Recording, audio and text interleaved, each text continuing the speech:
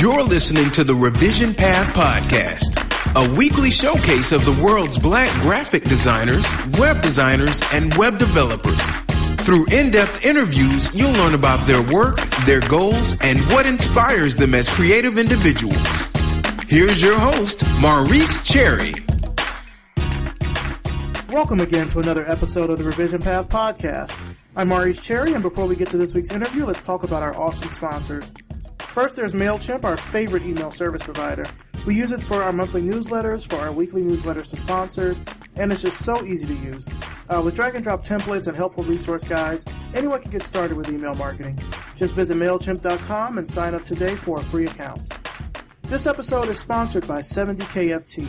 70KFT is a brand communications agency that develops and deploys marketing strategies through three practice areas design, digital marketing, and public relations. Check them out at 70kft.com and check them out on Facebook at facebook.com forward slash 70kft. This week I'll be at Weapons of Mass Creation Fest in Cleveland, Ohio. I'll be on a panel discussing race and culture in the creative community. Uh, the panel is going to be on Saturday, so you can find out more information, including single day tickets, at WMCFest.com. Now let's get to this week's interview. I talked with Jacinda Walker, a design strategist in Columbus, Ohio. Here we go. All right, so tell us who you are and what you do. Well, my name is Jacinda Walker. I'm a design strategist. I'm currently in Columbus, Ohio, and I've been in the industry now for about 20 years. 20 years. Tell us exactly what is a design strategist? What do design strategists do? Design strategists are based in ideation.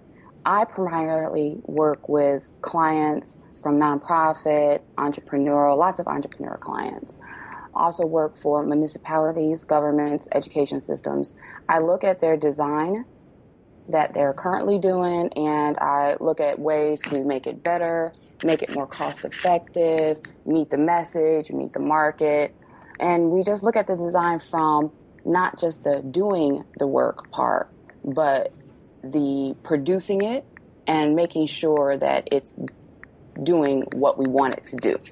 And now you say that you've got 20 years in the business.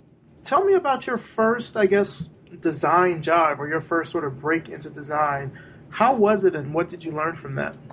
It was really a great opportunity. I my first design job, I was a design intern at Hickok Engineering.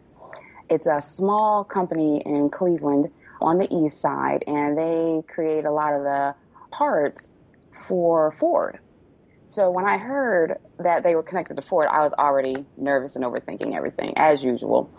And I got the position because uh, one of my first mentors, she knew another guy who knew another guy and said, Hey, I know this girl who's um, in school for design and she's really good on the computer.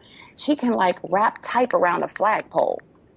And so the gentleman, uh, Tim Myrick, actually kind of called Keith Holiday and Elsie Mescudi all up. They had this conversation and they said, Well, bring her in. We want to meet her. Now, I really thought I was just going to be making coffee. Like, I figured, you know, I had a two year degree at that point.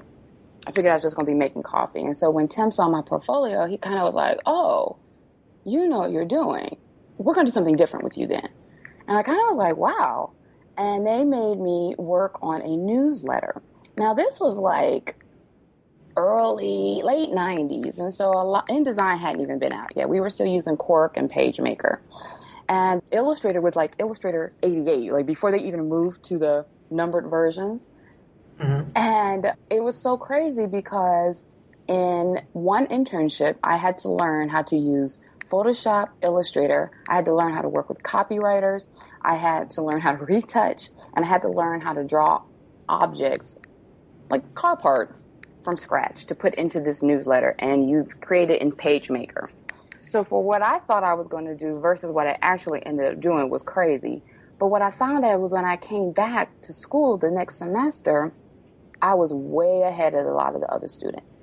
Way ahead. Not just so much on the computer, but because I had the opportunity of working with other professionals, um, collaborating, not just doing design. Like I said, more so in, in engaging how this is going to come out and what does it need to do and looking at it from that aspect. And, and it really opened a huge door, not just to my career, but to my thought process it was a wonderful opportunity. I loved it. Now, you mentioned that you have a two year degree and you also have another degree from the, the University of Akron. What was your time like there studying design? Um, you know, my time at the University of Akron, again, was super great. I was very, very fortunate. I had such a wonderful group of people um, around me who saw my talent and who had even greater vision to what I could do with it than I even had at that point in time. When I went to University of Akron, they were working on their minority retention program. And so there was a group called Peer Counseling. And it was headed up by Colleen Curry. And she was just very uh, active in all of our lives. She was like the first black professional woman I saw. She actively became everybody's mom on campus. When she called you, it was up there as if your mother had called. And she saw me doing something really much more phenomenal than I imagined. I mean, because when I went to college, I hadn't heard about design before. I had not, I thought I was going to be a watercolor painter. Mm. And when I went to college and I met Miss Curry and I, she looked at my work and she would always push me to try to do different things. She actually is the one who got me into event planning. And um, she just never let me or my talent rest. Anytime I thought I had figured something out or I accomplished something, she always put something in front of me to think about doing even greater. And for that, I just, I'm just ridiculously grateful that she even saw it way before I did a lot of the things that I'm doing now are things that she thought I could have done then. mm-hmm. So after you left the University of Akron and you said you were doing this design internship, mm-hmm. tell me kind of some of the other places that you worked or things that you've done as a design strategist. Oh wow. Well, I was also the graphic designer for Cleveland Public Schools. It was 122 schools and seven administrative sites. Um, I was replacing a woman who had been who had retired and she had a Quadra Mac. Like this is how long she had been there, and this is how much of a change they needed. Uh, my supervisor there, Montre Recker Adams, she called me and said, "Hey, I saw your work. I'd like to interview you." And I'm thinking, I didn't even know school districts hired graphic designers. I thought they outsourced a lot of that work. But because of a lot of the financial constraints Cleveland was going through, they really needed to kind of save cost and bring those creative services in house. And for seven years, I designed for many different departments, many different disciplines. I remember doing lots of projects for the multicultural department. I remember doing tons of projects um, for Barbara Byrd-Bennett. I remember doing tons of uh, teaching projects. Um, we used to design these huge calendars in Cleveland. We would go to the schools, each school, and pick out pieces of artwork, and we would have auctions, so to speak, of our student artwork. And that's what we would decide to put into the calendar. And Barbara would come down and she would do like the final vote. They were huge pieces. But the best thing about doing those calendars, especially being at the school district was I couldn't just look at how pretty it was. I had to look at how it was designed and who we used for the photographer and where we got the art and what the message was and where the words came from. You know, I had to look at the cost, you know, and so it really made my design doing ability just stretch and grow. What have been some of the particular high points of your career? I have some, but I still think I got a few more left in me. I loved working as the graphic designer for the Division of Water. I loved, especially those early years. I mean, they were phenomenal.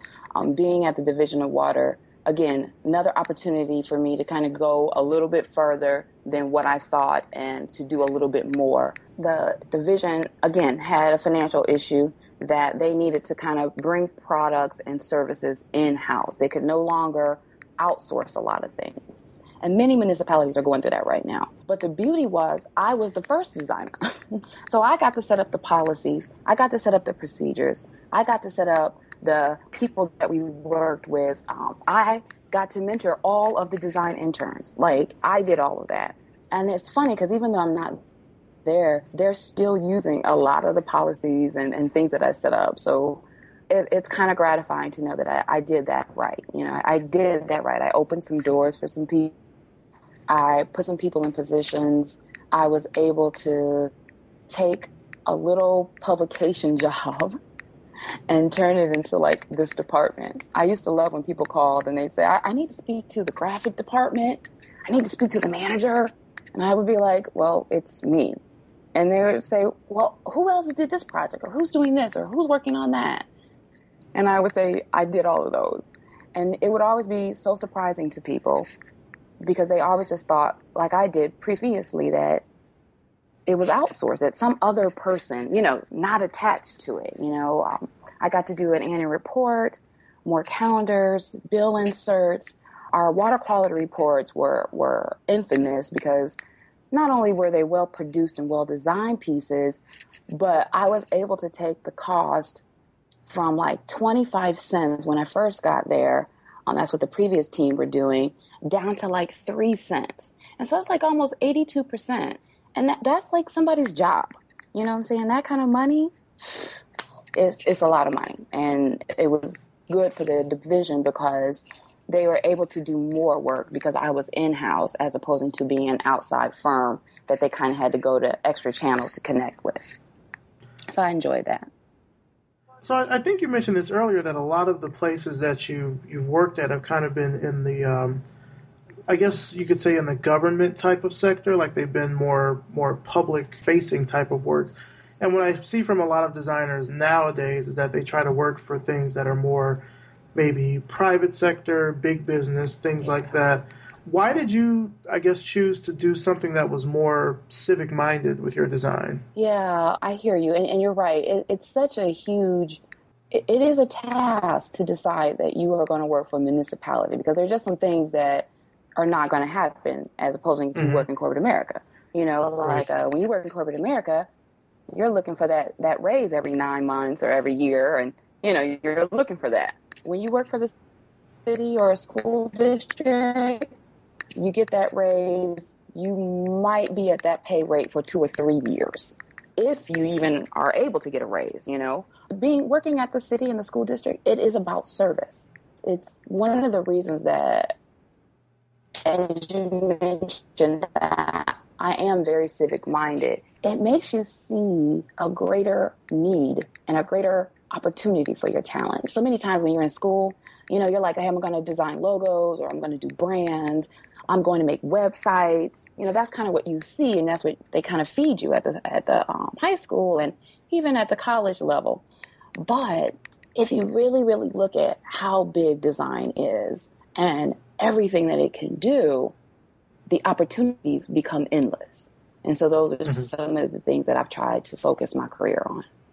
Now, currently, you're pursuing a Master's of Fine Arts degree at The Ohio State University. Can you tell us what your area of focus is? Yeah, I am studying the lack of diversity in design. And so my topic asks what is an effective tool to expose African American and Latino youth to design related careers? What I'm actually working on is developing this tool. I've been researching eminent designer 20 plus years my senior, you know, my senior, looking at their career paths and what are some things that they did?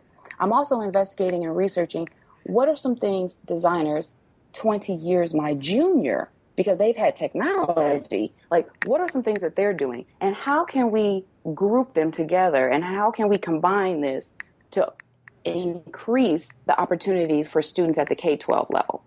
Because after a lot of the research that I've done that's where I see the problem lying at and so we have great designers coming through edu- through college education places. It, it just wonderful. But when you look at them making it through the entire pipeline of this thing called a career, whether it be an entrepreneurial, doing something um, for a nonprofit, you know, just getting to this end, you know, doing RFQ, you know, being able to spec work and, and things like that, that is a huge journey.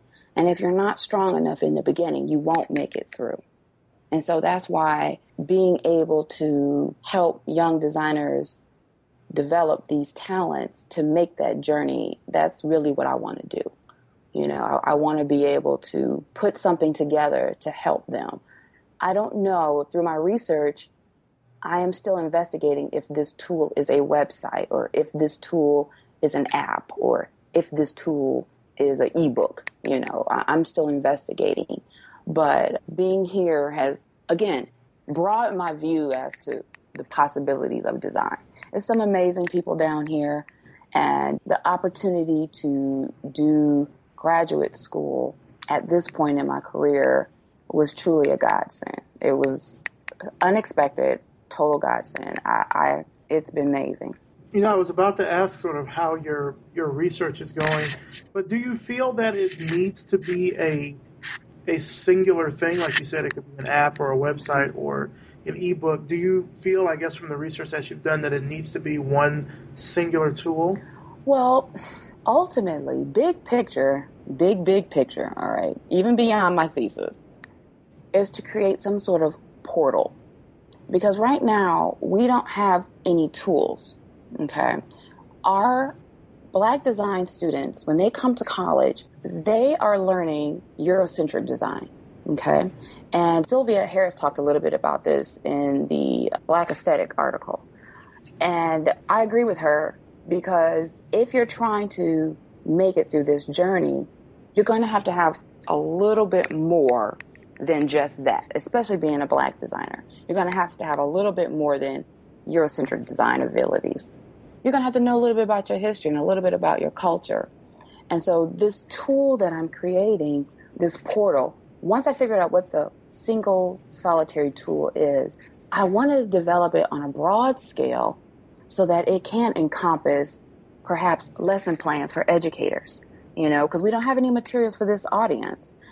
Apps and educational tools. If you go to the art store right now, and say, hey, give me a book about black artists or give me a book about black designers, you're not going to get it. It's not one mm-hmm. book. You might find a book that's got three pages. They're going to talk about Henry Tanner. They're going to hopefully talk about Aaron Douglas. And they might, by the grace of God, talk about James Vanderzee, the photographer. But you're not going to find a compilation of anything.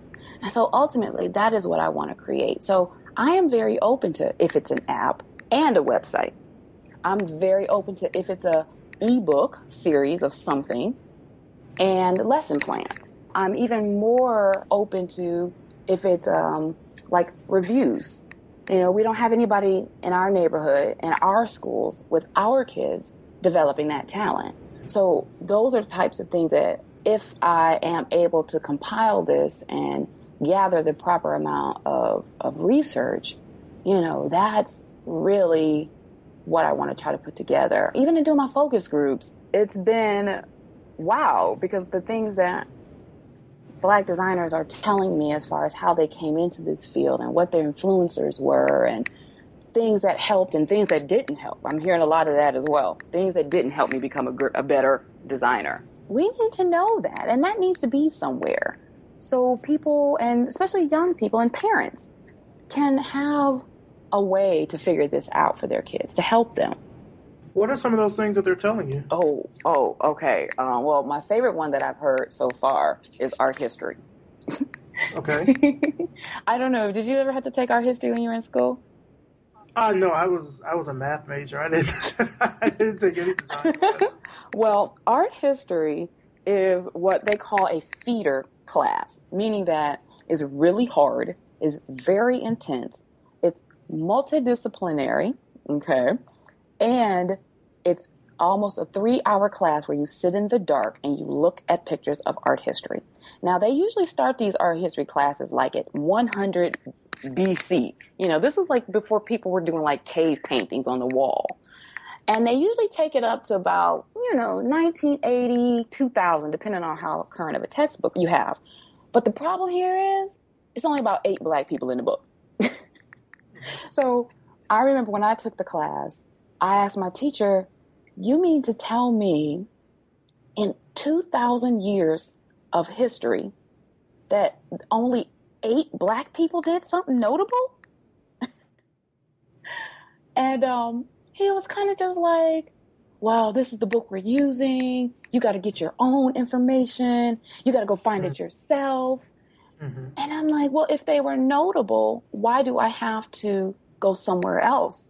If they were notable, why can't everybody know about it? You know, why, why is it in a different book? Mm-hmm. And um, I hear a lot of designers about why that class. Like, I understand it, but the value of it, not hearing much from it. Another thing that I'm hearing a lot of a lot of designers say that maybe weren't as helpful or high school art class. Because what they're telling me is that the high school art class you do get a chance to see a lot and try a lot. But it really depends on how savvy your art teacher was that you got to do the design pieces. So you might have had to wait till like junior year or senior year before you even heard about the word design you know? So a lot of people are saying that they didn't, you know, kind of like that part. I don't know if you remember this term, this whole keylining process. I hear a lot of young designers saying that they don't understand the purpose of learning that. What's that? Keylining is something that was done in the early, early, early 1900s, and it's basically the process of printing. You know, um, you create an, a stat or a picture of an image, you paste it down to a whiteboard, you add different layers of text and type to it. It's very popular in a lot of the playbills um, mm-hmm. from the early 1900s. You know, a lot of the work that uh, Aaron Douglas did with fire, a lot of that was keylined. And it's okay. basically just a way of, of that they printed before this whole electronic printing came along. Mm-hmm.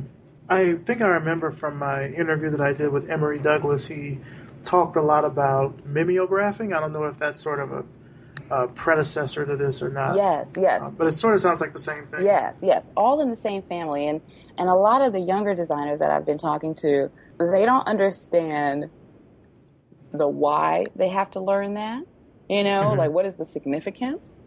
And they don't understand how it connects to this electronic thing. Because if this mm-hmm. electronic thing is what we're doing right now, then why do I need to know what a stat is? Why is Rubylith right. important? Why is rubber cement? Why do you have so much rubber cement around? mm-hmm. You know, but it's it's been phenomenal talking to so many different designers about their influencer and their background. It, it's it's definitely helping me shape where I want this to end up at. So this might be a bit of a, a moot question, but what is your opinion, I guess, of diversity in the design community now. And before you answer this, something that you mentioned earlier, kind of about there's not really uh, resources or books or things like that. I was looking the other day trying to find Saki Mafundikwa, who did a TED talk about African alphabets. He has this book he wrote called African Alphabets, mm-hmm. and that book is $150. Whoa. Exactly. Now you already know anybody. and I, hold on, and I, and I don't want to alienate anybody, and I'm not trying to stereotype, but I'm simply saying that if you just graduated from college and you've only been working at your job nine months, you're not about to drop 150 on that book. Right. That's a. I mean, that's a high price for. I think any book, design or not, 150. That's a that's a very expensive price. Because I was, you know, I wanted to see it. I gonna have to see if I can find in the library here, but that's a lot. That's a lot, and that's one of the few books that I can think of just off the top of my head that would feature or have something that would deal with sort of black design, or I guess in this case, you know, African typography. Yeah. I feel like that's related in the whole diaspora. So, but going going back to my earlier question though, what is your opinion that you see of uh, of the current design community? I see it on twofold issue. There's the us and then the them. All right. Okay. We have to participate with us. And I'm sure everybody who's listening understands what us is. We have to mm-hmm. participate with us. We have okay. to work with each other. We have to support each other. We have to look and take advice from one another, whether it be good or bad. However, we also still have to work and do these exact, these exact same things with them you know? Okay. Because neither is going away. Us ain't going away, and them not going away. Mm-hmm. Not going away. So when we talk about diversity, we have to learn how to play together. You know, we got to learn how to play in the same sandbox. You don't got to stay there all day, you know? Some people just put their six to eight hours in and they dip out. But mm-hmm. we have to learn how to play together in this sandbox. And while we're learning to play together in this sandbox, they have to learn how to play together in the sandbox. Because the mm-hmm. responsibility of diversity simply cannot lie on people of color. Amen. It, it, simply cannot be our responsibility. Now, I have a thought process. I know, once again, this might make some folks mad, but I believe diversity is a bottom up issue. But I believe racism is a top down situation. And okay. so, when we talk about when we talk about where does diversity stand, I think the designers who are in the game right now are the soldiers. You know, we're the ones saying that, hey, we're here we're not going anywhere. We're not hiding. You're going to keep getting this design work. You're going to mm-hmm. keep mm-hmm. getting, you know, you're going to keep getting it, and I'm not going to stop. But with that same drive and energy and passion, some of us who are able to have to be able to talk to them. We have to. It's, it's not good enough to only do one side. Mm-hmm. It's not productive. It is highly counterproductive. Our world is global now. You know, like it's not just black and white and brown. It's like mm-hmm. purple and pink. It's got some magenta, some green. It's got some, you know, our, our world is global. So it's important to be able to understand where you are in your part in your history so that mm-hmm. when you get to that place, you can be truly, truly effective. You can be truly, truly impactful. It's it's kind of hard to explain, but that's kind of no, no. I, I see what you're saying. Do you think people might be put off by that that sort of dichotomy that it has to be kind of an us them situation? The us them situation that I talk about is not a or. It's like a and slash or. You know, mm-hmm. I almost feel like you can't have one without the other if you study African American history, you will understand that many of us were brought here. So, those of us who were brought here, there is a disconnection to our to our continent. Many other nationalities, they have a land base to go back to. They have a land base to go back and say, "Hey, how did you guys do it over there? So we can do the same thing here, so that we can get our strength or we can get support." But many African Americans here don't have we we just don't have that. And so being able to work both sides or, or being able to participate and still feel confident and strong about yourself, critical skills. It's a critical skill set. I agree. I agree with that wholeheartedly. I like to tell people that diversity is not a zero sum game. Yes. Essentially meaning that, you know, because there are people that are out there advocating for more diversity, for, you know, gender diversity, racial diversity, etc., that does not mean that someone else is being, you know, kind of short shrifted because of that. Yes, yes. And and I I love you know, I love going to the black art store and I love going to the black bookstore. I love it. And we need more of those. We need the black design bookstore while you're playing. Mm-hmm. Um, but we need everybody to come to the black bookstore because there's value in it for everyone, you know? Um, and I know there are a lot of people who aren't real supportive of inclusion, but it's hard to tackle diversity without inclusion. It's a hard pill to swallow, which is why I believe diversity is a bottom up kind of issue. You know, it's something that the people who aren't getting it are kind of like, hey, this isn't right. we need to do something about this.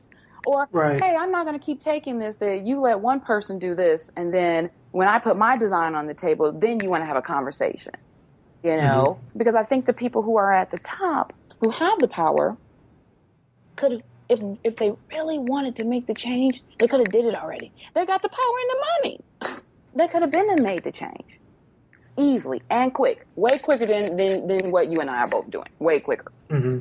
One thing that I, I know I've told people when it sort of comes to diversity in in companies particularly is that you know it, it sort of has to affect them on a bottom line level. Like if it affects their bottom line, I think then this is something which they'll look at and say, okay, we probably need to think about, you know, diversity. Yes. Other than that, it's it's sort of a hard sell for them on a, um, I think on a cultural standpoint, mm-hmm. it's a hard sell when you think about companies and how essential it is for them to have a particular culture fit, particularly creative companies and agencies. Mm-hmm. It's very important to sort of have that that culture fit. So unless it sort of affects their bottom line, they may not feel like it's an issue to even tackle. I think that you're definitely on point. You are definitely on point that it has to affect the bottom line. What those companies who are kind of ignoring or not seeing the value of, of diversity, what they don't understand is that, you know, the 21st century is bringing about some serious problems. Serious. And one type of person ain't going to be able to figure this out. It's going to take all of us at the table everybody's going to have to be here to figure some of this stuff out. One of the things that I used to really, really, really love to do when I worked, especially at the city, as I am talking about design, I relate it to money. As I am putting out these processes and procedures on how we should roll this out, and when we should get things printed, I'm also equating, hey, here's the money. And and if I went into a meeting like that, I had everybody's attention. Mm-hmm. But if I went in and I said, "Wow, you know, we're trying to reach this audience. Here's the photography we should use. Here are the colors that would do it. Here's a great layout. Here's a rollout plan to be able to engage them." It would kind of be like, "Oh, okay, well, well, okay, well, let, let, we've had your part of the meeting. Let's talk about this part now." You know, they wouldn't see the value of it. And for the companies who are getting the picture, who are supporting the diversity, their profits are amazing. You know, if, if you go back and you research companies who have actively sought out to diversify and realize there are four levels of diversification. That's another thing that a lot of people don't know. For companies who actively seek out this, they have these well rounded out teams that are doing some amazing things in the design world. And that's how they do it because everybody's at the table. Not just them, not just us, it's we. What are those four levels of diversification? Well, you know, of course, you know, there's race. That's the easy okay. one. You know, there's physical, putting handicapped like rails, you know, rails for people who are physically challenged so that mm-hmm. they can get around. Being able to fit your doors so that a wheelchair, you know, could come through. You know, gender. And this is the one that right now a lot of people are kind of getting tripped up over. And the gender one is not, it's women, it's sex, it's like, it, the, the gender one is crazy. And then there is sex. And so a lot of times what happens where, you know, that I've witnessed, the company has a diversity policy, okay? And then the recruiter has a diversity policy. And a couple times, the policies mm. ain't the same. So right. the recruiter is divert. He he or she is recruiting for what they feel is diversity, and then the company has a diversity policy. So people are so touchy about the word diversity that many times companies don't sit down and say, okay, this is what we believe diversity is. You know, many companies don't even have diversity policies or strategies. There's no plan. There's no, hey, here's what we believe. Here's how we're going to work to make it happen. Here's how we're going to work to keep it happening. you know, and that's where a lot of times we mess up. I, I think that's where a lot of companies have messed up. It's kind of sad. Well, speaking of, of companies that have sort of realized that they need to have you know, more diversity and things of that nature. Let's talk a little bit about WMC Fest. Both of us will be at WMC Fest uh, coming up soon, and you've actually had a, a, pretty instrumental part in in working with them this year. Can you tell us about that? Yeah, you know, this that conversation probably started about like three years ago. Actually, before I went to grad school, even before then. I had an intern, uh, one of my mentees, loved him to death and um, he loved this conference. When he heard about it, he was just every day I heard about this conference. And uh, so I'm like, okay, well, you know, let me see it. So I had him bring me the information. And I go to the website and I look on the roster and they've got like one black person. I was, this touched me on such a core level. I called my other design friends, like, do you all know this? Have you gone to this conference? It like I instantly became engaged. I could not believe that in and at the time this was like 2012, 2011. I couldn't believe that in 2000 this conference couldn't find black designers to participate. Like I was just aghast. mm-hmm. And um, I called about, like I said, nine, ten of my other friends. We had a Google Hangout the year after this happened. You know, the year after my student introduced me to the conference, and I we talked about like, what are we going to do about this? Like, we need to get together. Somebody needs to call this man. Somebody needs to say something. And one of the people on the chat said, "Well, you know, maybe he don't know." And I really that that really shook me. Like, you know, is it possible in 2010 that you don't know about diversity? Like, is it? It's, it's possible. And, and that, wait a minute, and that's what you know. That's what she was telling me. You know, she was like, you know, Jacinda, it's possible. We had another gentleman on the chat who he was kind of like, well, you know something. I went. I took my friend. We went. We were the only two black people that went to the conference, and people were looking oh. at us strange. He was like, you know something. I ain't doing it. I'm starting my own conference. And he did, and he has, and I'll be at his conference as well. what is that conference? It's called the Creative Control Fest. It's here in Columbus, and it's going to be on September 12th and 13th. You can reach out to uh, Marshall Shorts for that. And um, I have a really great thing I want to kind of plug a little bit. Myself and another couple other designers, we're going to be doing portfolio reviews at the Creative Control Fest. So I'm hopeful that people, young people who are hearing this and they want feedback on their work, they want to talk about interviewing and professional development and all that come because we're going to have people there that can help answer your questions, that can help you move to that next level in your career. But that night, Maurice was so funny because Marshall was like, I'm not doing it. He was like, I'm starting my own conference. And so a couple other people on the chat was like, well, what are we going to, you know, what are we going to do about this conference? And my friend who said, you know, she was like, what if he doesn't know?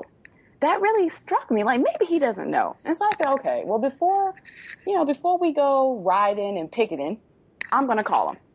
I'm gonna ask. Okay. I mean, what can it hurt? He can only hang up on me, right? I mean, and so uh, I called him up out of the blue. I didn't schedule a call. I didn't call the secretary. In fact, I remember talking to the secretary like I even knew him. Like, hey, I'm looking to speak with Jeff. like, oh, we go way back. Like, can you just put him on the phone real quick? And mm-hmm. so he came to the phone and I asked him flat out, why don't you have any black people at your conference? Are you, do you just not know? Do you need some people? Because I can give you some people. And he met me with a little insecurities, some insecurities. He met me with shock. And I would even go so far as to say a touch of, wow, I didn't know and I didn't realize. And so I said, hey, listen, we should put something together for your conference for the black people who will come. And he instantly let me know that he wasn't sure what the demographics were and he wasn't sure about how this would work. And, you know, I'm like, you know something, I'll do it. I will take all of the responsibility. I will do it. You know, mm-hmm. what I need is I, I need a booth and I need some FaceTime. Give me a space to have a workshop. I will do it myself. And so that's what I did. I, I would even I would even interject to say that conference organizers they know about those demographics because they have to have that to get sponsors. And, and I knew that he knew, but the problem, the bigger problem here is, is that he did what most people in his position does do. He asked his friends. You know, mm-hmm. he said, "Hey, I'm having a conference. I'm going to be doing blank, blank, and blank. Would you in, be interested in participating?" You know, because first of all, conferences are really expensive and and they do take a lot of time and energy. I get that part. So mm-hmm. in the beginning, you need people who are going to kind of help. You understand? Help. Maybe not handle it, but help. Mm-hmm. And so that's kind of what he did. And that's what he explained to me, you know, over the phone. And Jeff Finley was very like, wow, okay, well, let's just see. You know, what Jeff didn't realize was that I had been marketing and promoting our booth, the Organization of Black Designers Midwest chapter, we were going to be at this conference to come, sign up, get us registered, let us get your email, let us connect with you. You know, we had um, I had phenomenal booth members. We had uh, Clarence Merriweather who drew for two and a half days. He sketched just so we could get people to come and talk about this thing called Black designers, you know? And so many people came because of the emails we sent out, because of the calls we made. Um, we got John Jennings to be on our panel. He sent us back an email literally overnight, like, yes, I'll do it, I'll help however you need. And we had this small little panel discussion workshop thing off to cut to the side of the theater. We called it the hot box room. It was so hot in there. We were just like, okay, fine, we're going to have this conversation no matter where you put us. But what we didn't realize, Maurice, which was really funny, was that they came. The them, you know, that we talk about, mm-hmm. they came. and many of them were so shocked by the things we discussed and by the things we admitted to and the challenges and the issues of being a black designer in this world and in your companies, what it's like, what it's really like, mm-hmm. that they were just like, whoa, like, whoa. And um, this year, Jeff and Todd called me and asked if I would participate. And again, yes, I'll do it because I know that as his conference grows, that whole thought process of the us and the them comes back and hits me in the face, you know? Mm-hmm. I, I, can't sit here and do nothing anymore. You know, I, have I've put my 20 years in the game already. I, I put my 20 years in already. I've gotten my awards and my accolades and, you know, the stuff that comes with being a designer. I got that already. But what happens when my 15 year old niece tells me, Auntie, I want to be a designer like you? do I want her coming into the industry like this? Mm-hmm. I can't. I, I can't let her come into this industry knowing that I didn't do whatever I could to make it better for her. You know, now she's 17 and she's looking at colleges, and it's even scarier. so, being able to set something up for us and for them is important for me. This year at, at the WMC conference, we're going to have this conversation on the main stage. I've already got some calls of why are you going to do that? How come we going to do it? I've already gotten those calls. And to them, I say, you may have had this conversation 20 years ago, but clearly it wasn't documented. Or clearly you can't tell me how it went so that I can continue it or even improve on where things may have not gone right. Mm-hmm. You know? But just because it happened doesn't mean it can't happen again. And doesn't mean that this might not be the change. Doesn't mean that the people who are involved on this time, this part of the conversation, can't do something different. And I, I think our magnet, our, our impact as black designers is even greater now than it was 20 years ago. You know what I'm saying? So many more of us are doing the entrepreneurial track. So many of us are starting nonprofit organizations to help. You know, I, I listened at some of your past interviews, especially the one with the guy from the Interpack in um, Interact. Interact project. And, you know, yes. And before you even ask me what my dream job is, I'm putting it out there. I want that job. That is the job. You know, that is the job I want because that what he's doing in that small area if that were able to roll out to like national and global spectrum, Maurice, it would change the game. And it would change the game at a part, at the K 12 part of education, not just the college part, the K 12, mm-hmm. which is where the impact is really suffering. So when we go to the Weapons of Mass Creation Festival this year, the panel is going to be phenomenal. Um, like you said, yourself, we got Antonio Garcia from Gravity Tank, Luis Cabrera from Forest City. We got Donald G. Wooten. He is a phenomenal screen printer, designer, web person in the Baltimore area. Angela Townsend is um, our moderator. It's definitely going to be a good conversation.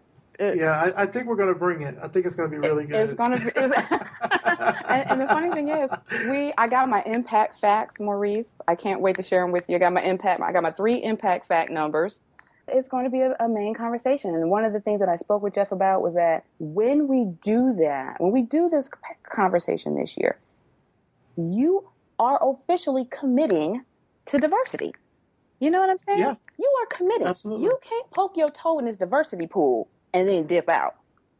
Now, you could probably try, But trust and believe, I am here, I am watching, I am listening, and I will not let you forget your impact, your commitment to this.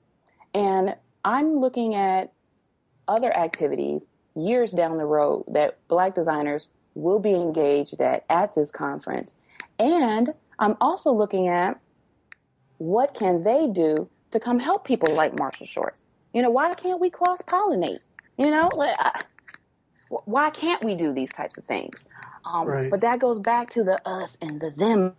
You know, like it's yes, they're two different groups, but we're in a global world, and our circles will overlap someday. They're already overlapping. It's crazy. You know, in, in doing my thesis work, I've had a chance to like see the surveys, Maurice. You know, these are like the surveys they don't really, really talk about. You know, sometimes when you read an annual report, they put the little asterisk next to the numbers. Mm-hmm. and they, they put the asterisk like, oh, we read this, this survey and, and, you know, this is where we got our facts from. Well, they got this little thing out called the HEAD survey, and it stands for Higher Education Arts Data Summary. Okay? Higher Education Arts Data Summary. And they poll like almost 300 schools with art and design programs, and they rank the numbers. They look at ethnicity, they look at faculty, they look at everything. What the schools are teaching, who they teaching, how you know what the graduates are doing. Like they look at everything. Maurice, this report is so painful to read, especially if you're a black designer. It just made my heart ache. in in reading this report, because they're talking about like for 7,400 faculty people, you know, mm-hmm. guess how many people are black? Let's say 3%. 311 people.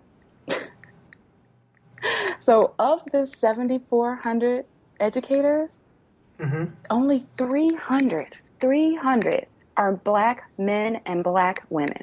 So, when you look at the fact that a little more than 10,000 of all the design students, that body, that body of students are black, it's like a two to four ratio. You know, like the ratio is ridiculous. Black, young black designers will never have that equal footing. You know, you know what I'm saying? Uh, it's, it's like the cards are stacked against us. And so doing conferences like the weapons and doing conferences like Creative Control and South by Southwest. And that's why these are important because that's where our students are going to get their education. You know, mm-hmm. they should be getting it at school and as much as it costs to go. but the numbers are, are just painful. They're very, very painful. I'm going to be debuting more of them, you know, at weapons, but to to see them, it, it just makes your head, it just makes your heart hurt. And so when I meet designers and black graphic designers who are like, "Oh, I don't have time to help. I don't have time to participate." I, no, no, you you guys just go ahead, keep me posted. Mm-hmm. I, it just makes me cringe because this ship won't change direction until we all decide that it has to change. It can't just be one or two of us pushing the whole boat. You know, right? We, no, I agree. We yeah. have to do this in unison. When someone hollers right, we all have to go right to be able to make the distance and the move that is required for true success in this industry for black designers. Well, I also think it's to sort of speak on that point that also they just really don't know the history or they don't know the statistics. Yes. So even just asking, and, and maybe it could be just how it's it's phrased. Like I see this a lot when people ask about things, they just ask in a very general fashion but if you can give someone something specific that they can do, even with limited time, mm-hmm. that might help in terms of like bringing in their involvement. So you were talking about surveys, and I know that A List Apart used to do a um, a web design survey every year. They started in 2007, and it was a really comprehensive look at sort of well, what are the demographics of the design industry, and they and they mostly did it about web design. I think web design and web mm-hmm. development. And they did that survey for, I want to say five years. They did it from 2007 to 2011. Mm-hmm. And then they just sort of magically stopped for yeah. some reason. And I remember that first year because I wrote a piece for Black Web 2.0 called Where Are the Black Web Professionals? Mm-hmm. Because I looked at the basically the data that they pulled from the survey and thought, okay, well, out of all of the people that took the survey, I think about 1% of those people that took the survey were black or that identified as black, I should say. Most of those, I think, were males. Oh yeah. So, so black women. So we're talking. There were like thirty-two thousand respondents. Out of thirty-two thousand respondents, I think less than hundred were black women. Yep. And so the survey breaks it down by you know geography, age, gender, ethnicity, salary. It's a very, very comprehensive look at it. They stopped it in 2011. They didn't really mention why. Mm, And then Net Magazine, I believe, tried to pick it back up, or they did something very similar yeah. in 2012 they did like a web design and, and development survey and i noticed that they omitted race Oh, now, they talked about age and oh, yes. location Oh, yes. expertise and gender they talked about different you know industry sectors and languages and you know cms platforms and a bunch of things but that part was left out i don't know if it was intentional i'm not really, I'm not Maurice? positing that or anything. but I think it's important because, like you say, if we don't, if this stuff is not documented Yes. in a way where people know what are the numbers, what are you know things that are coming out, that's very important to be able to make cases for more diversity, to make cases for you know black designers. I think in this industry as a whole. But speaking But of the, the work that, can I can I touch No. on that really fast? We yeah, have, yeah, go ahead. um, part. Remember, we talked about the uh, the higher art survey. There's another one out that again. This one just makes me mad. The National Architectural Accreditation Survey. Now, you know, whenever they need to get information about designers, wink, wink, okay, they go to architects, all right? Because architects are certified, all right? You have to register to be an architect. So those are the numbers, you know what I'm saying, that they use to answer questions and to, okay? But check this out. And they did not begin to separate the numbers until 1999, Maurice. So anything that happened before 1999 with this national accrediting board, okay, Uh-huh. didn't get documented.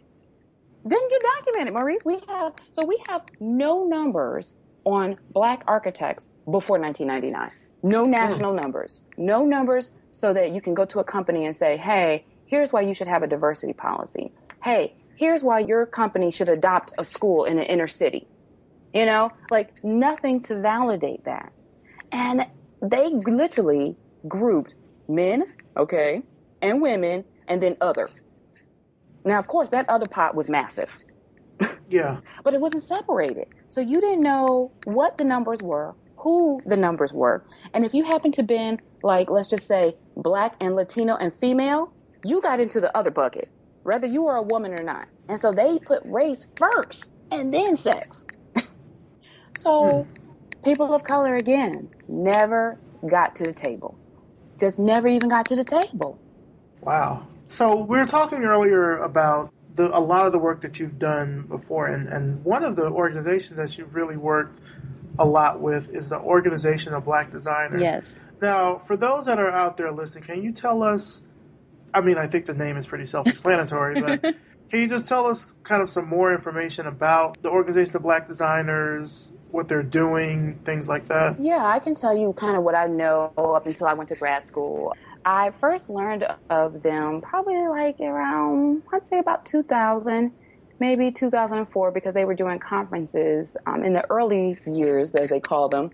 They were doing conferences every year, but maybe like the last 10 years, they started doing them every other year. I heard about OBD and I instantly was, I knew I had to be wherever they were you know, wherever there were other black designers. And understand that many of the the people that I'm talking to you about as far as those who mentored me, they were not black designers. So I never had a black design mentor. Like so to when I heard of OBD, the first thing I thought was, "Oh my gosh, I hope I meet somebody here." You, like my whole Mhm. mind opened up. And so um, I called for a long, long, long time and I aggressively per- pursued a dialogue.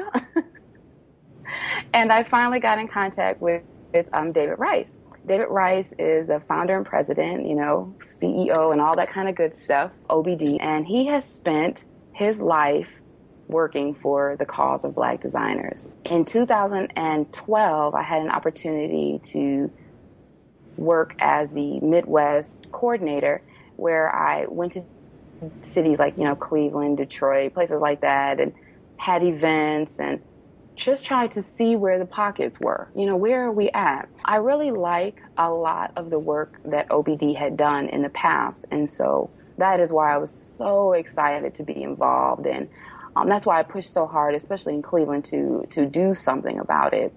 I know that they haven't been as active these last couple of years. I know that David and uh, Kier Worthy, who also serves as the executive director, it's kind of just them two, you know, them against the world, leading the charge, and you know, they're they're the need is so great that I often wonder how they will fare in this journey. You know, there's so much work to do, Maurice, for Black designers.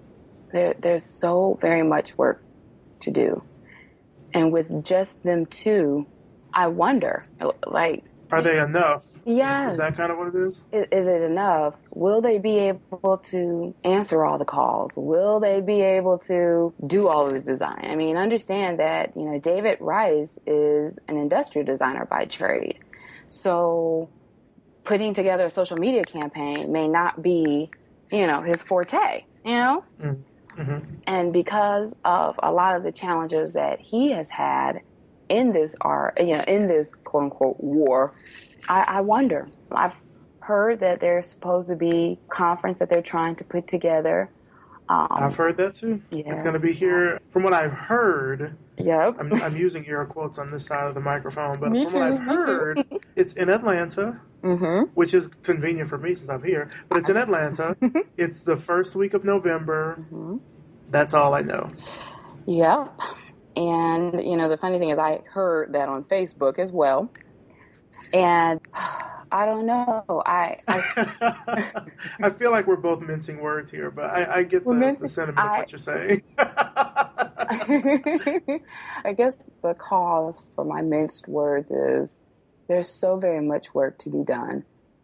Mm-hmm. And you want it to work. You know what I'm saying? Like you want to be like, yeah. yay, OBD, yes, yes. No, absolutely, yeah. But with only two people pushing the boat.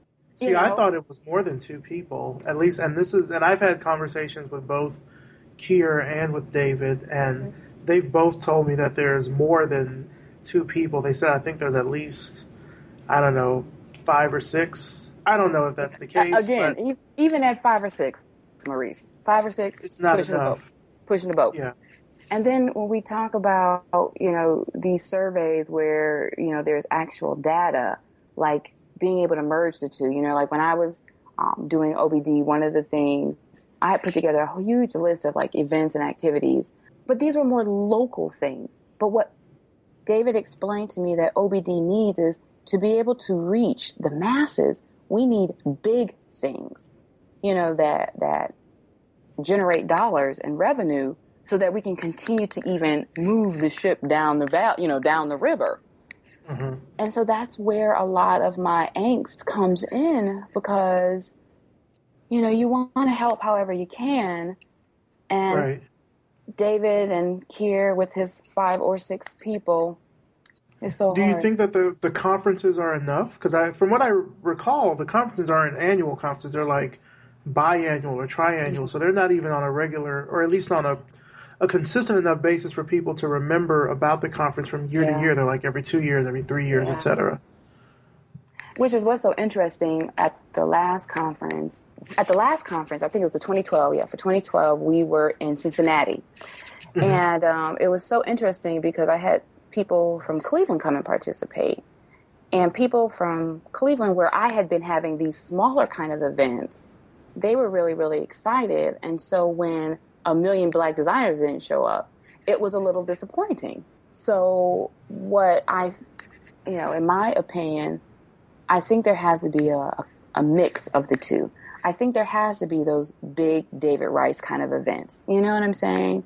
Where we get big time sponsors and we get, you know, big hotels and, you know, where we have prominent designers come and talk about their work. You know, we have to have those big events. But on the flip side, Maurice, remember, because I told you I'm about trying to get people through. Like, mm-hmm. we got to have some of these smaller events, and not just smaller events, multiple events. Do you understand the difference? It's like it's almost like what SNCC did, you know, the black students, early 60s. It's almost like what they did. They didn't just hit one or two places. Like they mm-hmm. literally was calling people up, like, okay, you're gonna have something in your city, you're gonna do something in your city, you're gonna do something over here, we're gonna do something here, and at eight o'clock, we all gonna do it at the same time to get the power. The activist in me really thinks that's something that we will have to do. I hope and I would love to continue to do things with OBD. You know, I, I told David a couple moons back when, you know, before I started school, that as soon as I'm finished here, I will be back. You know, he already knows I, I will be back. I'm not going to leave. I'm not going to not do anything about this cause. But at the same time, I do wish there were more people like you, you know, doing what you're doing with Revision Path and like what Marshall's doing with the Creative Control Fest and what I'm doing here with the numbers and the research and the youth. And, you know, like I want to connect with all these people. You know, that's why people like uh, Maurice Woods that you talked about, um, mm-hmm. people like him. You know, I would love to have a conversation with Bill Strickland. I've watched so many of his TED Talks. I've watched so many of his interviews and I like literally have folders of data about all the eight schools that he has. Because he has, you know, are you familiar with Bill Strickland? That name sounds familiar. He has a lot of these art and technology schools. So there's like two there's one in Connecticut. There's one in San Francisco. There's one in Detroit. You know, so he's got like six, about eight of these schools that I've found. And basically, he has them in urban communities. We all know the code word, okay? He has them mm-hmm. in urban communities. But Maurice, these schools are state of the art, okay? I'm talking like when I went into the one that we have in Cleveland, I didn't have as much computer equipment at my office, and I had a job. Like, I mean, just tons of equipment, tons of opportunity, educators who are professionals, you know, in their industries, working specifically with inner city youth. We need places like OBD to be at these schools, you know, mm-hmm. um, to be able to further this boat and to move it, to be able to push it further and to be able to make more of a distance. But we have to be able to do that together. And that's what gives most, I guess, nervous, makes me a little nervous about OBD is because there's so few people who are, are pushing the boat, you know? Mm-hmm. And it's something on both sides. You know, David Rice has, has done this for so long with his resources that I wonder, you know, he did an interview for a Cleveland publication and he talked about when the mothership calls. And I don't know what's going to happen. You know, I don't know where we will stand. Are we united enough now to be able to move the boat? No. Okay. Yes, I totally agree. You want? well, I mean, it's, it's just being honest. I don't think so. Not right now. And so to me, that's why being able to connect the dots is critical. When I do my research and I think about what this tool is, I totally believe you and I understand what you're saying as far as does it have to be one tool? You know what I'm saying? Like, does it only have to be one thing? I ultimately want to put something together where it's just you only have to go to one place for these resources, for these connections, for these organizations, because I think that is how we will get ahead. We will not get ahead with just David Rice pushing the boat. You know, we won't just get ahead with you pushing the boat. We won't even get ahead with people like Dr. Noel Mayo pushing the boat. I can give you a litany of names. We won't get ahead with just them doing it. It has to be a consorted, consolidated, impactful movement. I, I described this to one of my um, instructors, and she's white, and she said, You mean like the Harlem Renaissance? and well, I and I kind of laugh, but yes, like we have to put something together at that magnitude, and it can't. We can't worry about is it big enough. You know, it, it can't just be is it big enough. It has to be how often have we done it? How many times? How many people showed up? How many people came? Do you know where they are? What if I need a black programmer right now? You know what I'm going to have to do, Maurice? What's that? I'm gonna have to call you. Call me. I'm gonna have to call you, Maurice, because you are the closest to programming that I know about. Do you see what I'm saying? That I know about. There, there's. Um, I'm in two, well, three Black design Facebook groups right now. I think you and I are in one of the same ones. Yeah. But the thing is, is that in the BDU group, there are about 200, 300, about 300 designers in that group. Okay. Mm-hmm. In the African American graphic design group, I think there are about 14 or 1500 people in that group. That one's a little bit bigger. But even then, that's only about 2,000 black designers. Okay. Can you right. imagine if 2,000 black designers came together and said, Hey, I'm going to give you all the black designers I know and let's connect. Can you imagine what that power would be? See, that's no. that's the power that is going to take the move this boat. That's the power. And through those numbers and through those efforts and through those initiatives is how we make the impact as designers, as black designers, as designers who aren't just doing design, who are also thinking about design. It is a movement. So when she, when my instructor talked about like, are you trying to do something like the Harlem Renaissance? Like I said, I chuckled, but as I think about it and as I thought more about it that day, yes, I want something on that level. I want something where we're all participating, where everybody knows this is for the same cause, no egos on the table. Like, if you know three black designers, just get their contact information and what they do and let's pull them together. Like, mm-hmm. that grassroots, it has to start somewhere, somehow, with something. So I've just decided to spend, you know, the remaining years of my career before, quote unquote, as David Rice says, the mothership calls me to make a difference for my niece, for my mentees, for all of the young people who will be left to steer this boat when we are no longer here. You know, like what will they have? Talk to me about your mentees. I know you do a, a, a, lot of mentorship. You mentioned earlier you mentored a lot of, of young designers. Talk to us about that. Yes, yes. I, I, I have to say that that has been one of the highlights of my career. It really has been. I didn't think that it would be, but to hear their stories um, and to see them and, and to see some similarities and, and to see their struggles is you just want to do something. You know, you just, just can't be in a position not to want to do something. I started mentoring when I was at the school district. I, you know, I, I had probably maybe only been designing four or five years at that point, you know.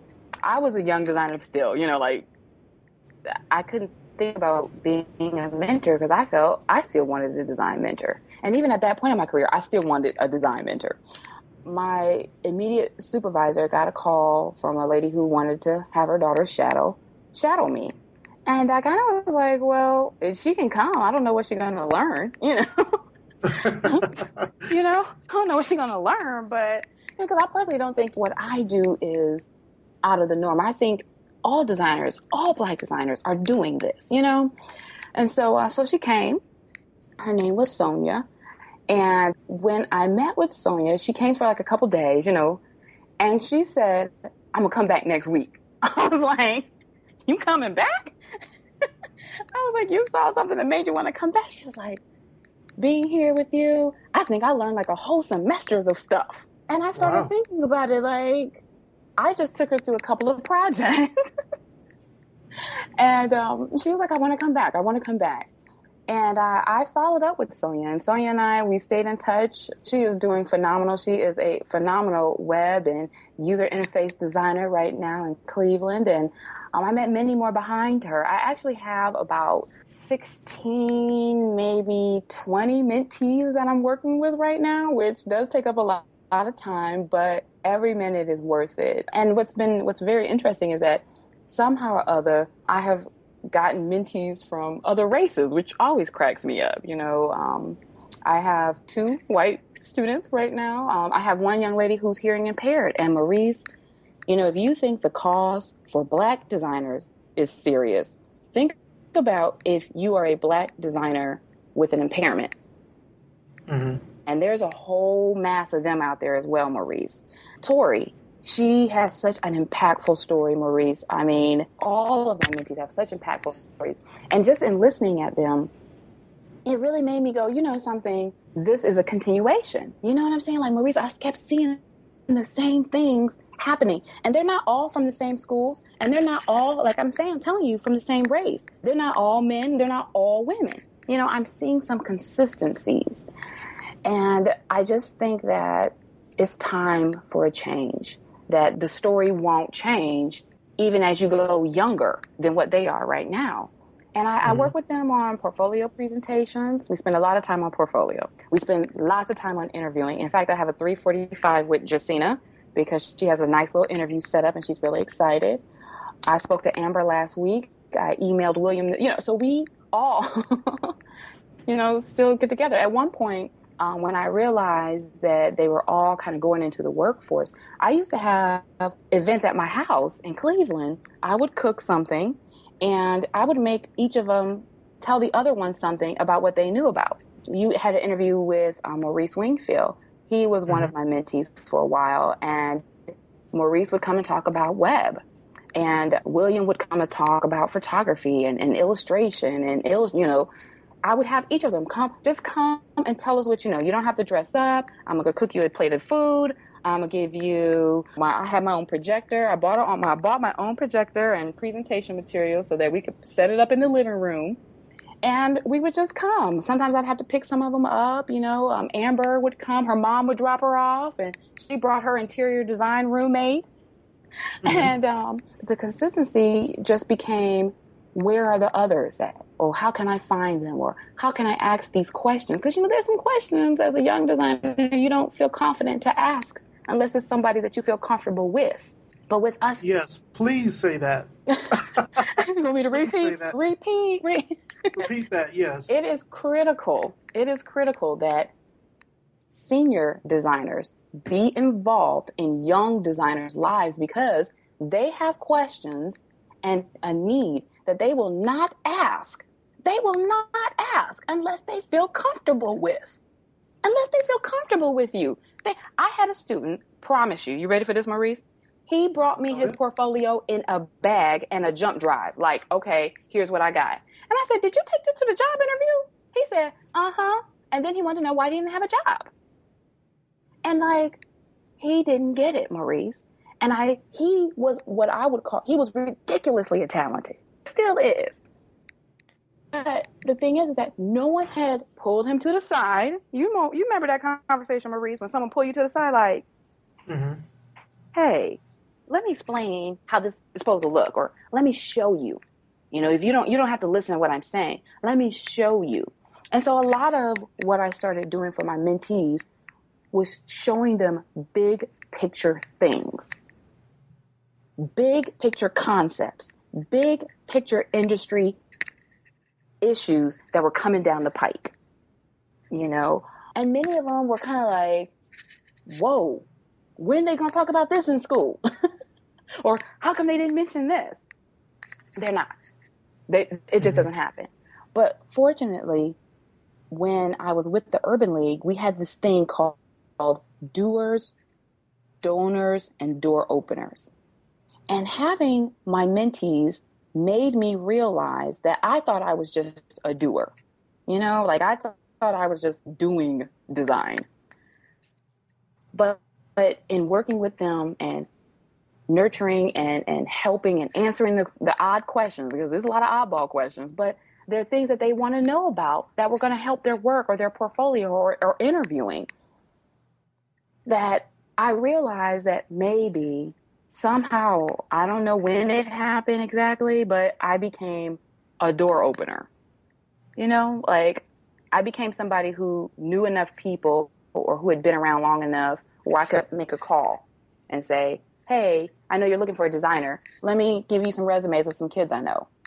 Or, Hey, um, I know you want this designer to do blank, blank, and blank, but you're only paying this amount. Why not I give a young person a chance? You know, Mm-hmm. Why not? And many of the companies um, that I gave this pitch to, they took it and um, they hired about, I'd say about six, maybe seven of my students.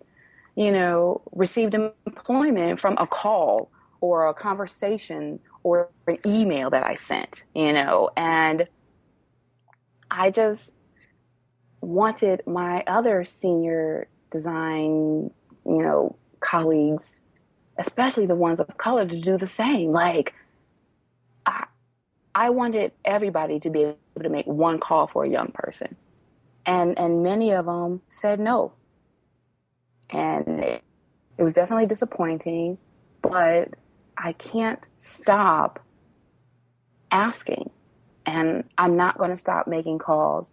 Anybody who knows me knows that I take information from all young people. All you have to do is come to me and say, I'm a young black designer and I need to know blank. You have got my time and talent and my time and energy right that moment. And if I can't talk to you, I give you a card. Like, hey, call me in a couple days. Or I'm swamped right now. Here's my home, my personal cell phone number. Let's talk about this a little bit later.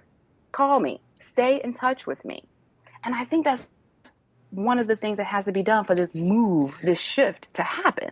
It can't just be one or two things. It's a consolidated effort that has to happen. And so working with my mentees has definitely just shown me a different a need. I'm doing some teaching right now at a um, inner city school here in Columbus called Franklinton Prep. And Maurice, they're in the ninth grade. Do you remember the ninth grade? Mm-hmm. You remember what kind of designer you were in the ninth grade, or or what kind of? I, I wasn't. I was probably just writing in ninth grade. Yes, yes. But the funny thing about the ninth grade students that I have is that they're trying to decide right now if this is a career. And the way young designers make decisions with all this great technology is around is way different than maybe you and I would have made the decision. And so that's the even greater need for having more information out there. It, it's crazy. So mm-hmm. that mentorship piece, that visibility piece, that being at the conferences, that being available, being around is critical. I, I can't stress it enough. I, I just can't stress it enough. So let's switch gears a little bit here. Let's talk more about, I mean, it's about you, but it'll also be about, you know, kind of the work that you do. Mm. Based on a lot of just what you've said so far, what advice would you give to someone that's just starting out in this industry? Oh, yeah, yeah, yeah. I would say that, first of all, you have to take a, a stand to be dedicated to lifelong learning. Okay. You're not just going to get this degree and stop going to school.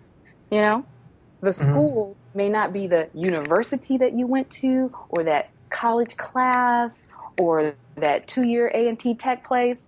The school has globalized now. So if you are not dedicated to lifelong learning, you probably won't be very successful in this field. Probably won't be. If you're not willing to buy a book um, now, I'm not saying you got paid $150 for a book because there's lots of great books. but get a subscription. There are so many mag- design magazines that are for free. Now, yeah, you got to look a little bit harder for them, but they're free. So if you're not willing to do that, it speaks to the longevity that you're going to have as a designer. I think the other thing, and I know this is going to hurt a lot of people's feelings, but we got to finish college. We got to go and we got to finish. You know how many great, talented people I know who didn't finish? Finishing college is about getting that door open. It's about being able not just to get to the door, it's about being able to go through it and kicking going through it like bam. Mm-hmm. We got to finish. We, we got to go. We got to finish. You know, learn the technique. Take your talent, get the technique, turn it into something amazing. And then the last thing that, you know, I would tell them is get a mentor. You have to get a mentor. You absolutely have to. I still regret that I waited so late in my career to get mentors, especially in the design industry. I wish I had had a mentor in high school, you know, like when the impact really would have made you know, it, it would have really made me open my mind to some concepts. But those are the three things. We have to be dedicated to lifelong learning. We got to go to school and finish. We, we just have to. I can't stress that enough. And, you know, we, we have to seek each other out to help us. You know, it goes back to that us and them thing again. But the us have to help more of us. And the help doesn't have to be something big, you know? Um, sometimes it's just a phone call it could be an email. It could be, hey, here's how I interviewed for a position like that. Here's some thoughts. You know, the it doesn't have to be something big all the time. So I think those would be my three takes. Sorry I went on so long. no, that's fine. Is is there anyone or anything that might have stopped you from realizing your full potential? Oh yes, yes, and it's not necessarily a a person because again, I I've had some amazing people. It, it's just been some some trials. You know, one of the things I, I talk to my mentees about is right now your task at this age and at this point in your career is to get your life together so that when it meets its reality, you will be strong enough to handle it. You know, you want to be strong enough to be able to meet those realistic life issues. And I had one. I went to a job interview, a portfolio review actually with um, AIGA, and put my book out there. I had my cute suit on, you know, because you kind of dress up for these things. And a lady asked me, What did I want to do when I graduated? And I told her. And she, maybe about eight, ten pages into my book, she just stopped, Maurice. And she just like looked at me shocked. And even though I knew she was kind of looking at me shocked, I kept talking because I'm, I'm thinking like, I gotta, you know, I gotta get this interview. Like, I gotta get this. I was like, I gotta get this. And she, all she could say to me, Maurice, was, you speak so well for a black girl. Mm. I, I was just taken aback. I didn't even realize what had just happened there. I didn't even realize that she had just disqualified me. Not, do you understand? She disqualified me. And I've had situations like that. I, you know, I guess because my name is not Afrocentric enough that when I show up to the interview, they're a little shocked to see this little brown skinned black girl show, you know. And so I've had, had interviews where I've shown up and, you know, I've sent my portfolio in and they're kind of like, like, oh, you're just it? And it's kind of like, um, yes, um, um, I am. I actually had one man on a job interview once asked me, he was like, you know, I'm, I hope you don't take this the wrong way, which you know what that really means. You about to get disrespected when you know when they say, "I don't mean any disrespect." He said, "How did you get so much job experience? How long have you been working?" As if to say, "I couldn't have possibly done this." Means, you know, somebody had to have done something for you to get you all this work. How'd you do it? Mm-hmm. Um, and and those types of situations, they were hurtful. You know, I can't really even lie about it. They were shocking and hurtful, and you kind of got to step back, like, whoa. But luckily, like I said, I, I had people who, who were able to let me know how it really is, and who were able to guide me through those situations and to help me to understand not just how to answer those crazy questions, but how to persevere even in that type of situation. So yeah, those are a few little instances, you know, lots of lots of I guess covert discrimination and some very upfront discrimination. mm-hmm. Are you where you wanted to be at this stage in your life? You know, Maurice, I am just absolutely amazed and blessed. I mean, I, I have to give all the glory to God because I didn't see me being here. You know, the mentor I told you about, Mrs. Curry, when I was 19, she asked me to think about doing something like this. And I told her, no, I need to get a job. you know, my mama ain't going right. to support me forever. I better get a right. job. and, and she was like, you know, Jacinda, she, Maurice, did what I do to my students sometimes. I make a passionate plea. I know that you probably won't do it, but I, I have to make a plea. And at the time, like I said, mm-hmm. 19, I didn't know what I didn't know. And she made a plea with me and she was like, you know, Jacinda, you should really think about this. And she was like, you could make such a change in a po- on the policy level of design. She was like, you've gotten so far. You should think about this. And I was like, man, Miss, I need to get a job. I'm on a car because you know my car is broke down. I need, you know, I wanted stuff. I want a pretty house, and she kind of just looked at me like, okay, okay. So, of course, you understand the laugh we had when I called her and I told her I got accepted to graduate school. She was like, I knew it, I knew it, I told you. And so, so right now, that's why I am so passionate about this. I feel like it's a second chance. I feel like I probably should have been here years ago. And when I preach about doing my part, I didn't do my part then. And so I will not not do my part now. You know, I, I will spend the rest, you know, of my career, you know, being an advocate to young black designers and, and developing that, helping them to develop their talent so that they can make the journey, you know, because this this design thing is a journey. It's not yeah. like a you go to nine to five, you punch out a clock and you stop. This is a journey. And so they have to be strong enough to make it. And so that's really what I want to, you know, kind of dedicate the rest of my life to uh, um, being able to do something bigger for them. I, I hope that it works. You know, I hope that it works. Where do you see yourself in the next few years? Ooh, um, graduating from graduate school. That, you know, let's put that out in the atmosphere. You know, I'm one year deep. Um, I just completed my first year. I was able to make the dean's list both semesters and pass my first year review. So my thesis um, question and topic has been officially approved.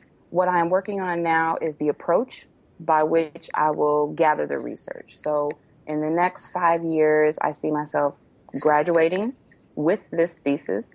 I see myself doing more talks, I guess very similar to the one you and I are having, but on a grander scale with people about diversity in design and with people about black designers. And I see myself doing something in training or education and definitely something entrepreneurial. The one thing that I have learned about you know, just not being in that corporate environment, that nine to five grind. Maurice, I can't go back. Yeah. I think any entrepreneur, particularly any black entrepreneur, they know that once you get that first taste of working for yourself and being able to sort of set your own rules and set your own hours and things, it's hard to go back. Like you don't want to go back. Not saying that you should go back, but once you get that little, taste. you know, that little taste of freedom, I don't know. Maybe it's a black thing. I don't know. But you get that little taste of freedom. You're not you're not trying to go back. I'm glad to hear that from you because, like I said, I thought maybe it was a design thing. You know what I'm saying? I, I'm glad to hear that other entrepreneurs kind of go through that. I just see that there aren't very many companies doing really what I want to do. And mm-hmm. I have just really decided that I'm not going to be in a situation where some non creative person, some non creative marketing manager type of person, is going to be micromanaging my talent. How dare you? No, no. Mm-hmm. I will use my God given talent to how He sees fit and what He has moved and opened the doors for me to do. That is what I will do. And, and that's really how I see it. So he has been gracious enough to open these doors, which is another reason why I really feel this is where I'm supposed to be. Never in my career have doors opened and moved so quickly, um, so quickly for me. I have to believe this is a higher power moving on my behalf. And so that's why I'm going to stick it out this time. It, it, you know, I might not have my Lexus, but a Lexus isn't everything. I, I think at night I will sleep a lot better knowing that I helped the body of people do something great with their careers. And so that's really what I want to do. Well, just to wrap up this interview, I mean, you've said just so many powerful things. Where can our audience find you online? Oh, wow. Well, I am really getting in love with my Twitter account. Okay. and so you can catch me on Twitter at Magenta Prints. I'm always, you know, surfing and looking. I have a Quora account and I'm on Facebook. Um, but I guess you can also just straight email me. I'm, I'm always open to a conversation. My email address is Jacinda, WLKR at gmail.com. All right, sounds good. Jacinda Walker, thank you again so much for taking time out of your day for this interview. And of course, I will actually be seeing you at WMC yes. Fest very soon. So I'll also get to thank you in person. But but no, thank you just so much. I think for the people that are listening, this is there's just been a lot of great information that you've shared. So thank you. Thank you very much. Thank you. I really appreciate the opportunity and I enjoyed it. I enjoyed it. I'll get you some more people if you like.